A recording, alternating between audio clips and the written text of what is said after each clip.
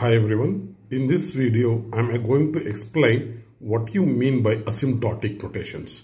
The concept of asymptotic notation is very, very important in the subject of this design and analysis of algorithm because whenever we do analysis of any algorithm, so we need to find the time complexity of an algorithm and after finding the time complexity, we need to express the time complexity of an algorithm using this asymptotic notations.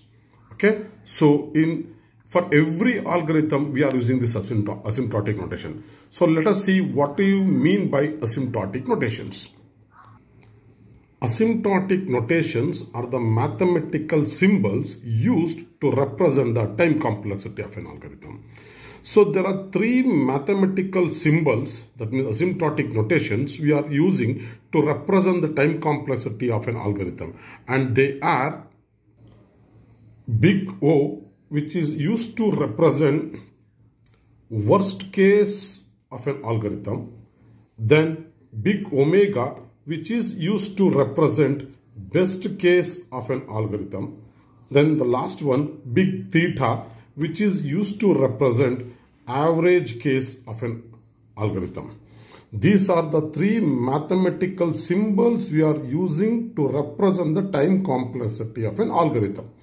Okay, so now before going to discuss these three, let us discuss. I'm going to explain one simple example. If you are understood this example, then it is very, very easy to gone through these concepts. Now assume a student is going to write, return the exam. After student return the exam, that student answer script is going to evaluate it. After evaluation, evaluation, student will got some marks. So now based on the marks you, the student obtained, so grade will be allocated. Suppose assume, suppose a student got marks in between 85 to 100 will be awarded as grade O that is outstanding. Suppose he got the marks between 75 to 85. So then you get A plus grade. So A grade between 60 to 75 and B grade between 40 to 60 and anything less than 39 he will be fall under fail grade. Assume this is the grade. So now similarly in the exactly, so first we need to write the algorithm.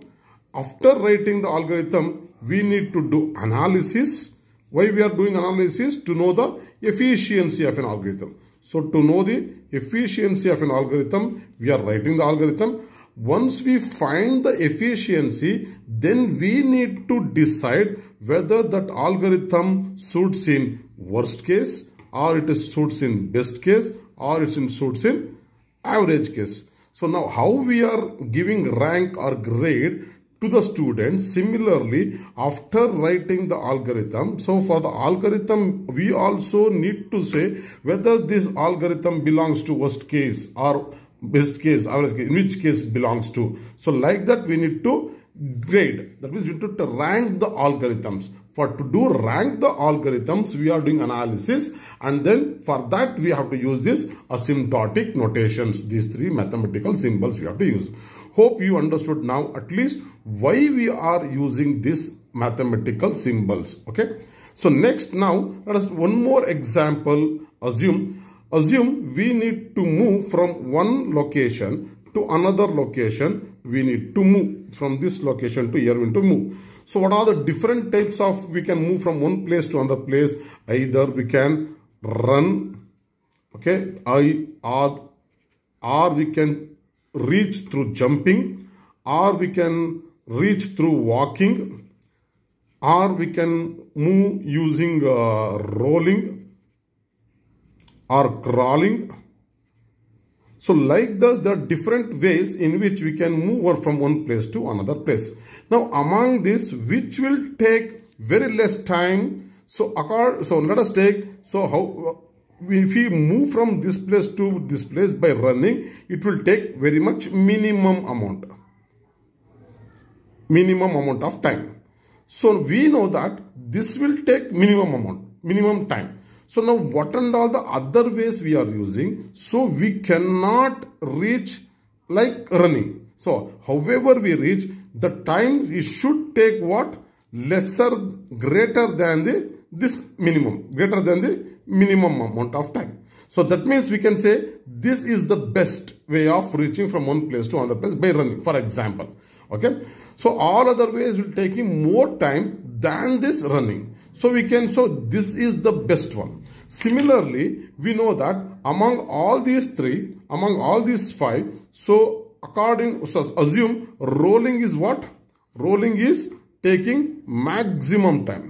So now whichever the other method will take, that we should take time lesser than this maximum. So that means, so this will be the worst case. That means moving from one location to another location. So through rolling is the worst case. So moving from one location to one location through the run is the best case.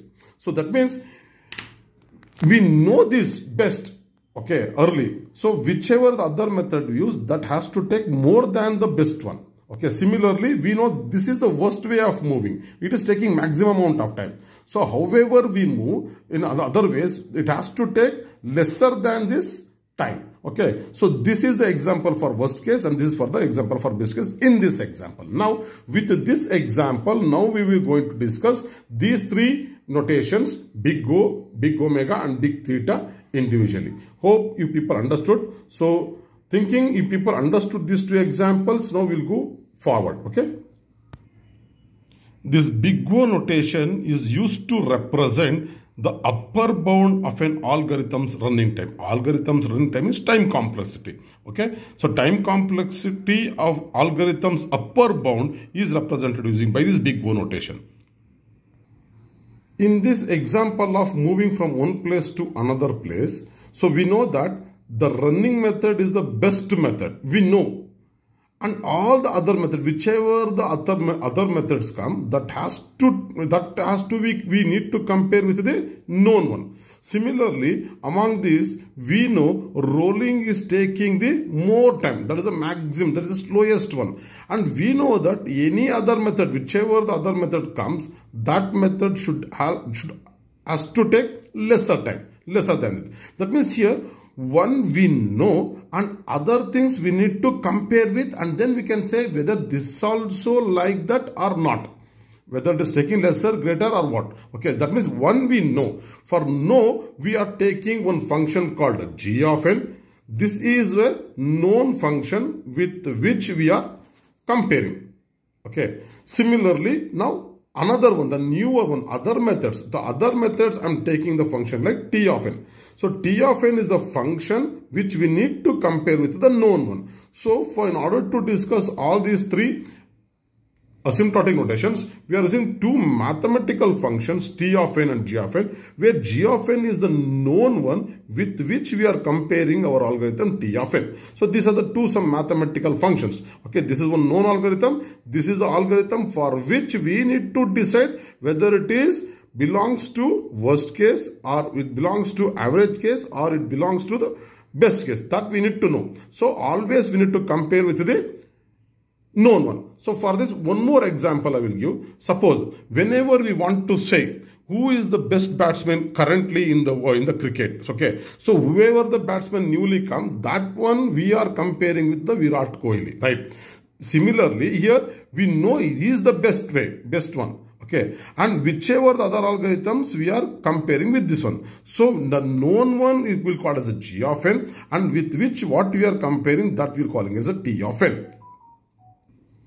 So we, whenever we want to say our function t of n is said to be in big O of g of n. That means our function is also worst. Big O is used for representative worst case.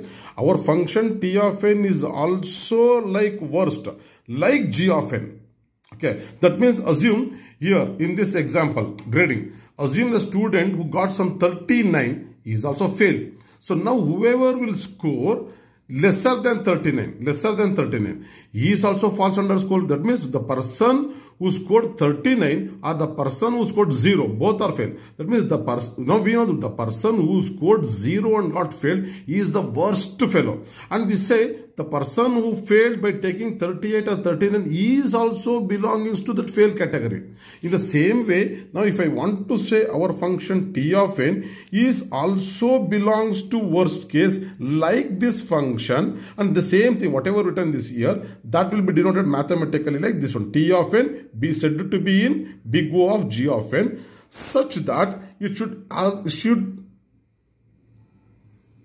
exists some positive constant c and positive integer n naught satisfying the constraint.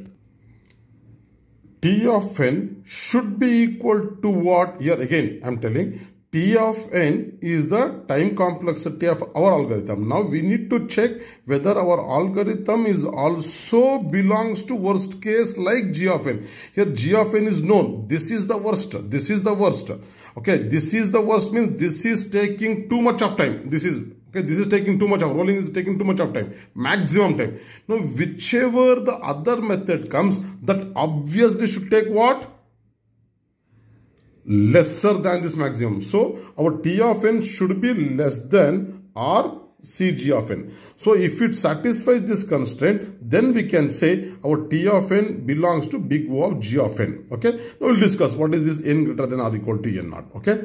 Hope this equation you understand. Okay. This equation you should remember. Okay. So the function t of n is said to be in big O of g of n which is denoted by t of n belongs to big O of g of n such that there exists a positive constant c and a positive integer n naught satisfying the condition t of n less than or equal to c into g of n for all n greater than or equal to n naught. Now whatever we written in the form of definition so same thing now we are to write in the form of graph. So here x-axis indicates the problem size n and the y-axis indicates the time complexity that is t of n. So now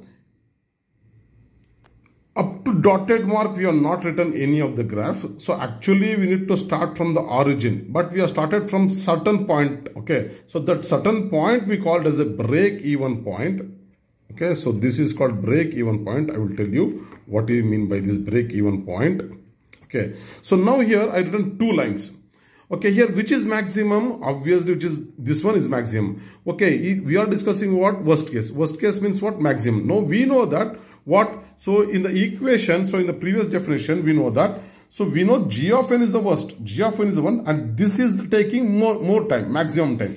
So this here also now it is which is taking maximum time which is taking maximum time this is one okay so this should this should be what g of n this should be g of n. And always our t of n, according to the, our equation, what? Our equation says t of n should be less than or equal to c into g of n. Okay. So, t of n should be lesser. So, this is our t of n. And here, among these two, which is, which one we know earlier? So, this one. So, this is our prior analysis. Okay. And this is our post analysis. That means after analysis, we came to know that this is also worst like this. That means see, you can draw anyhow, okay, but don't touch or cross these two lines. So the upper one, this is a known one, G of n should be upper and this g of n should be lesser than, that's it, okay. So this is the about big O notation, okay. Hope you understood. Now with this, now we will discuss what you mean by big omega, that is the best case. So we know what? Big O is used to express what? Upper bound. Whereas big omega is used to represent what? Lower bound of an algorithm's running time. Okay. This is used to represent upper bound. Big omega is used to represent the lower bound. That is the minimum amount of time. That is the best case. So for big O what? The function t of n is said to be big O of g of n. But here the function t of n is said to be in big omega of g of n such that denoted by t of n belongs to big O, big omega of g of n such that there exists a positive constant c and positive integer n naught satisfying the constraint t of n greater than or equal to. Why greater than or equal to? Here we know this is the known one. This is the best one. Okay, this is it taking the minimum time. This is the fastest. I know this is the known one. Okay, g of n. Whichever the other function it will take, it has to take what? Little bit greater than or almost equal to g of n. So then suppose our function is also taking almost equal to this g, uh, this known one or it is taking little bit then we can say our algorithm also belongs to best case. Okay. So again coming to this example suppose a, a student scored 100 we know that the person who scored 100 he is the best one he is the best one the person who scored 99 he is also best you see he is also best Okay, the person who scored 90 he is also best outstanding. So similarly, if our no our algorithm T of n is taking little bit more than or almost equal to the best one, so then we can say our algorithm also belongs to the best case. Okay. So now whatever the definition, so again we'll write in the what graph form. So this is the graph for what? Worst case. Now what are the changes here? Now here which is taking minimum the best one. So uh, here which is known one g of n. g of n is known what? Best. That is taking lesser time. And t of n should get more than. So here what we have to do? We have to just we are interchanging these two then that becomes the graph. Okay. So according to the graphs, we know that this g of n is the known one and it is taking the lesser time. This is taking the lesser time. Okay. Now whichever the algorithm, the t of n that has to take little bit more than or greater than this one. Okay. So this is our known. So this is a priorly we know that this is the minimum. So this is after analysis, we know this is post analysis.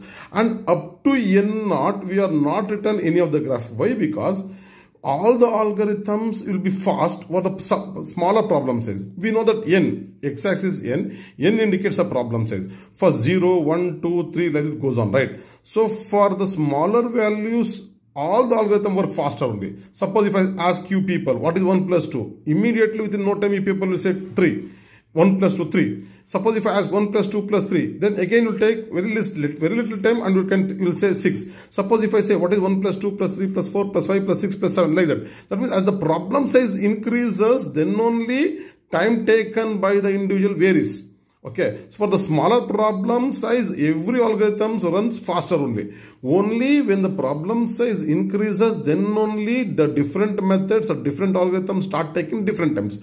So it is not possible to predict the behavior of the algorithm for the smaller instance. So only we can predict the behavior of the algorithm after certain point. Hence that point we call as a break-even point. Okay, so we know what is big O and big omega. If we combine these two, then so we know that, so okay, we know the two end. So this is the best case. So this is minimum and we know this is maximum, worst case. Okay, so anything in between this is what? Average case. Okay, so that we are going to discuss now. See here we know that our T of n is belongs to average case means you should have two constants C1, C2. So that means T1 should be always lesser than the, this is the worst case and it should be greater than the best case. That means it should be in between what? As I told, it should be in between the best case and the worst case. So our function T of n is in between the worst case, should be lesser than the worst case and it should be greater than the worst case, or best case. Okay, it is in between. So on the graph, this is our T of n, this is our prior knowledge Okay, prior post analysis, these two are prior. This is no, we know this is the worst. It is taking maximum time. This is minimum time. And our average case, our algorithm should take anything in between. Okay. So this is the graph for our average case. And this is the equation for our average case. Hope you people understood. Thank you.